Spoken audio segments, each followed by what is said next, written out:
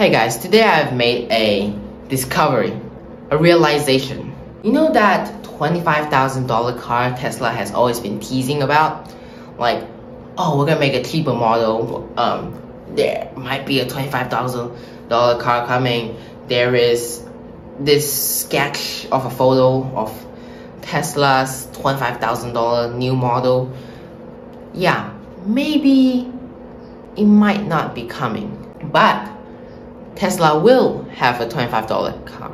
So some of you will ask, how does that happen? How would it be possible?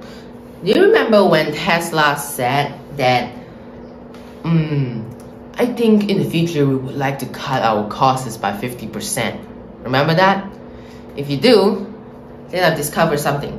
When I was doing the math, which of course I was watching some other guy and reading some other guy's document and videos, but hear me out. I did the math. And Tesla might not need to create a new model, go through all those trouble in the middle of um, inflation to recession while having the the supply chain problem, which they kind of solved, but also while they're trying to make the 4680 work, and also there is the full self-driving that which they should use all their focus on because if they got the full self-driving to work, they will dominate the market, which is not shocking, but they might be able to do it if they manage to cut costs by 50%, which is what they're trying to do. Okay, just imagine the Model 3, the cheapest model Tesla have right now, $42,000. Let's cut off 20%, which is the margin, and then divide it by 50.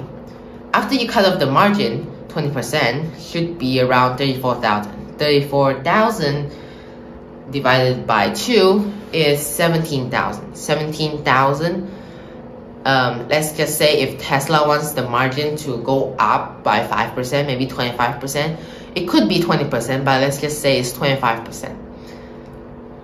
Now, your car will be sold at 22,000. Really. It is really interesting.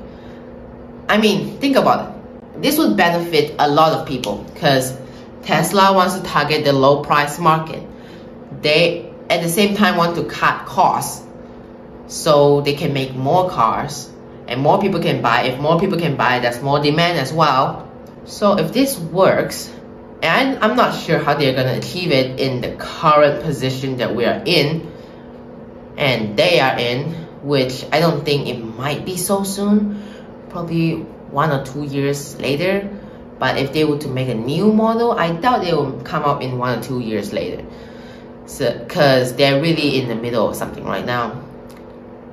And as well, I've made a video in the past, it was a long time ago, but um, I did mention about how it is not a main focus and not a main need for Tesla to make a new model.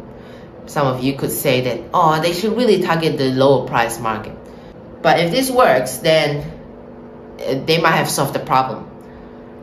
Personally, I do believe that they might make a new model in the future, like really towards the future. Maybe when they completed Robotaxi, which is quite far away, maybe they'll just make another model. I'm not sure. I do wish to see another model. But if they don't, it won't be a big problem if they make this happen. Of course, there are like $15,000 um, EV vehicle out there probably, in China maybe perhaps. But $22,000 for quality car, Tesla, you know, with the brand with it, I think I think it'll work pretty well. 22,000, 25,000, there you go, your $25,000 car delivered. It's great, right? And also I want to mention, which is probably irrelevant to the title of this video, but it's also good to know that Tesla has bring back their satellite for their for their self-driving. Some of you could say, oh, it's a bad news because uh, they would say that vision is impossible. I would doubt it because, to be honest, maybe Tesla never intended to take out the satellite in the first place. They just want to see if it's possible to do it without the satellite, but they have always intended to put back the satellite because the satellite has not a bad thing. It's not a bad thing because it works. It works well.